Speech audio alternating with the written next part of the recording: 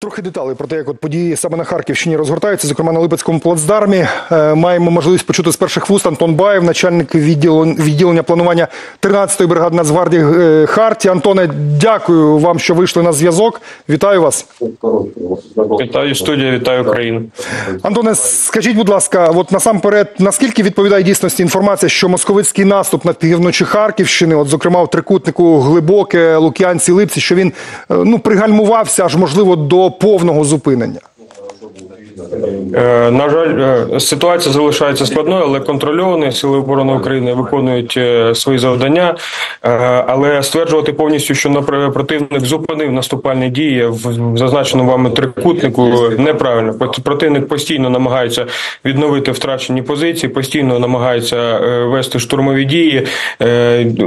і по, по силам оборони України і спроб не покидає. Так динаміка інколи падає і після зростає. Це пов'язано з тим, що е, ми ж все ж таки працюємо і ворога нищимо, але е, спроби і намагання є постійно.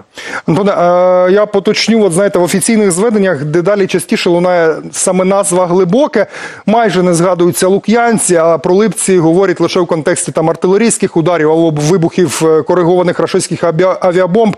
Чи коректно говорити, що піхотна війна наразі точиться саме от навколо глибоко, а можливо навіть в межах самого села?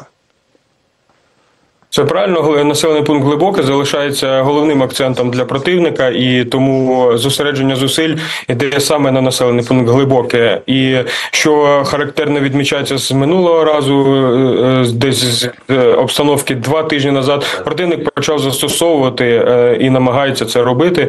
Поки що ми йому заважаємо, але все ж таки починає застосовувати бронегрупи. Якщо раніше ми повністю їх не бачили, то зараз вже є спроби і спроби постійні. Антоне, скажіть, якийсь час назад от Україні західні партнери дозволили застосовувати далекобійне озброєння, принаймні по ближньому прикордоні на російській території. Да? От ви на місцевості, ви спостерігаєте, ну скажімо так, безпосередній вплив на стан справ на полі бою від цих ударів? Це безумовно. е, Це безумовно нам допомогло, і ми, і ми працюємо щоденно, наносимо ураження по, е, по цілям і скупченням районом зосередження противника і накопичення техніки, БК. Ми постійно відпрацьовуємо, що значно полегшує нам роботу. Е, Це е, дає, е, дає нам змогу е, знищити противника ще на підступах за кордоном. І е, вже майже тут, е, коли противник переступає кордон і підходить вже до наших рубежів, е, повністю просто донищувати. Антон Баєв, начальник відділу планування 13-ї бригади оперативного призначення Хартія, був на прямому зв'язку зі студією спецкору.